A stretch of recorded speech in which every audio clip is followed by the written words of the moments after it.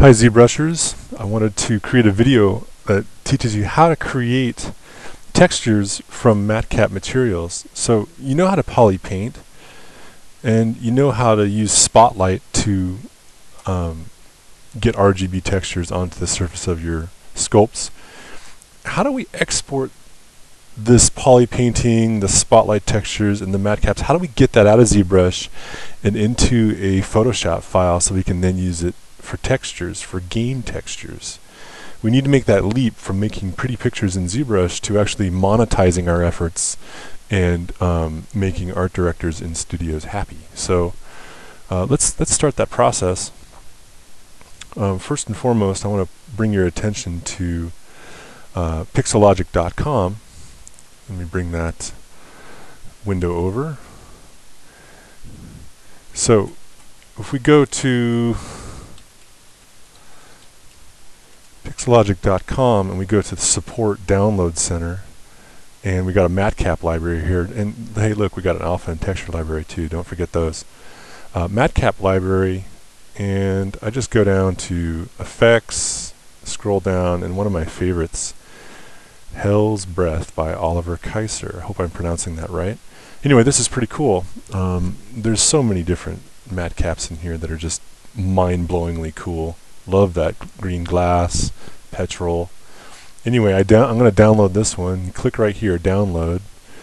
And once you load that, here's where you put it.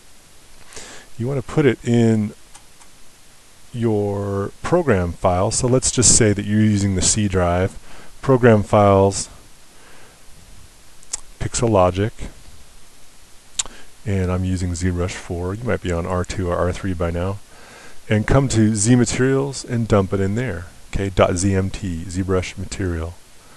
That's where you place it, and then you come over here to your matcap, click on it, and why don't you click on one that you're not going to use? Maybe, I don't know, outline, or um, Matcap Gorilla if you're not using that. Just pick one you're not going to use and then click on load and go find that place where you placed those matcaps. Let's go to Pixologic, ZBrush 4, Z Materials, and then I'm going to dump X-Ray in there Okay, so there's a pretty cool X-ray. What else do we got? I earlier, about five minutes ago, I loaded Hell's Breath. Loving that matcap. So while we're here, while we're talking about matcaps, I want to open up this side of the the shelf. And I've got, I'm going to populate, I'm going to open up material, and I'm going to click on this and drag it over and dock that. Because I want to look at the modifiers. Um, and Oliver Kaiser, who made this matcap, set up the modifiers. And I want to show how you can just very quickly increase or decrease the intensity on number A, B. We can make some adjustments to this thing. We got depth.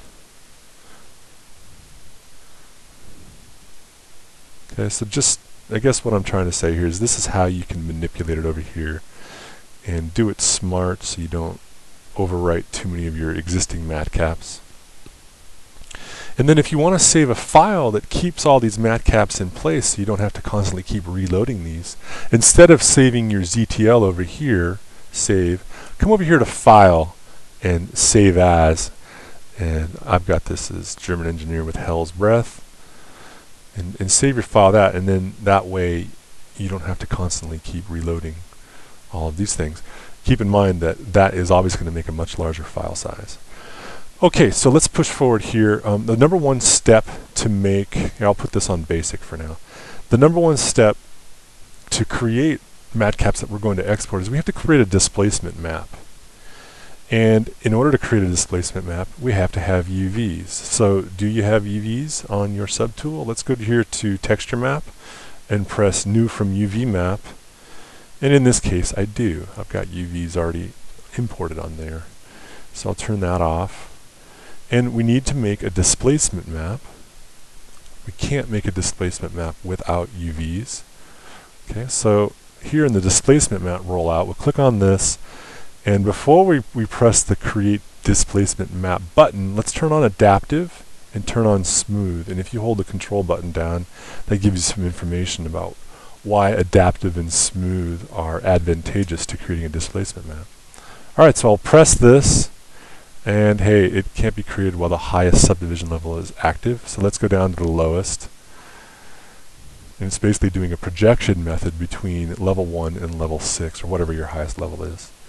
Okay, press create displacement map and let the software crunch on that for a bit.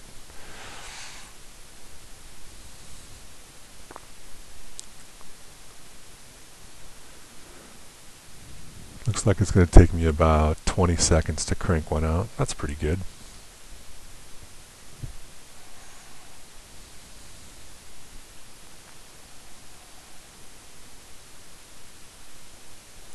Alright, so there it is. There's the displacement map. And I want to place that over here in my alpha tray. So I'll say clone displacement map. That pops it over there. And um, then we can export it. Alright, so I'll just export that as jacket displacement map. Put that someplace sensible.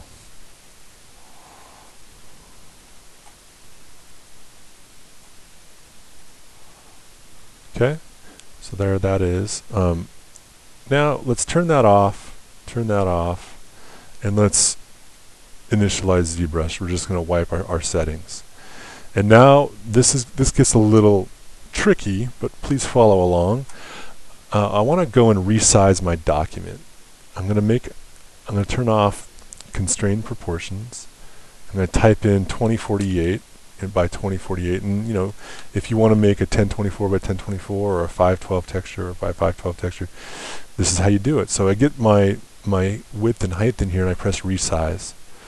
And let's zoom out and let's see what we got here. So I got this square document that's 2000 by 2000. I don't like this gradient in there. I'm going to go up here to document and take range down to zero to get rid of that gradient. And by zooming in and out of here, we can fill up that space. Okay, now I, what I want to do is click here and load a plane 3D and just click and drag into my viewport go to edit and press T and then I'm holding the shift button down to snap that viewport and then I can press frame or F as the hotkey and that fills my document size. It fills 2048 by 2048 which is square with this plane 3D. Okay, so I need to convert this plane 3D to a poly mesh that I can subdivide and that's what this button is for right here, make polymesh 3D. Click on that, and now I can subdivide this guy to get a couple million polygons. Let's see, I'm at 1.05 million. Let me go one more time to 4 million, 4.2 million polys. And if I zoom out here, you can see there's this plane with 4 million polys on it.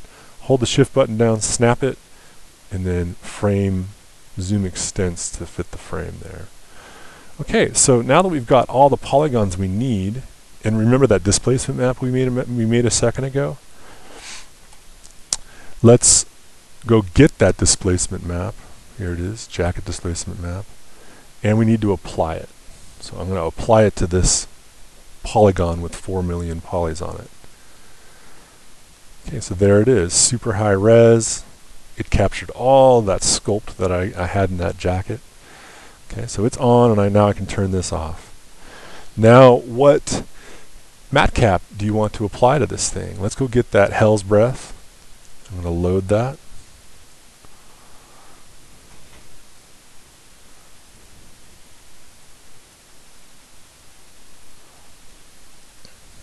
Z materials. Hell's Breath.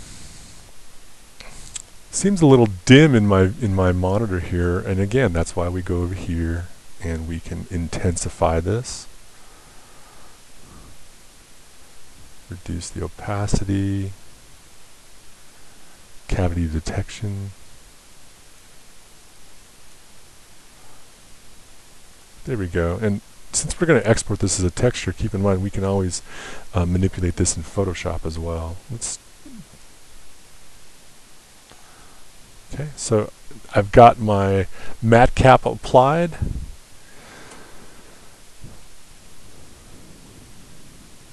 Now the next step is just to export the document. So we come up here to Document, Export, and put that wherever you want it.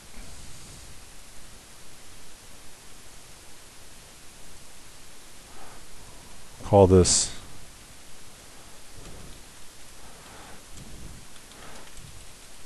Hell's Breath example and save. Okay, let's go to Photoshop, open up that file, see how it looks.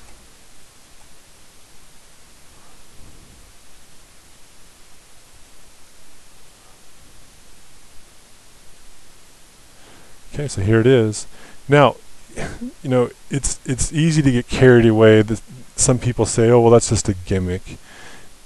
Don't forget that you're compositing these things on top of the diffuse, on top of the ambient occlusion, on top of your shadow, and you might even take the green channel from a normal map and composite all those things together to make a really beautiful game texture. That's going to be the subject of a different video, but I want to I want you to remind you of that that this is just one component of many to make excellent game textures.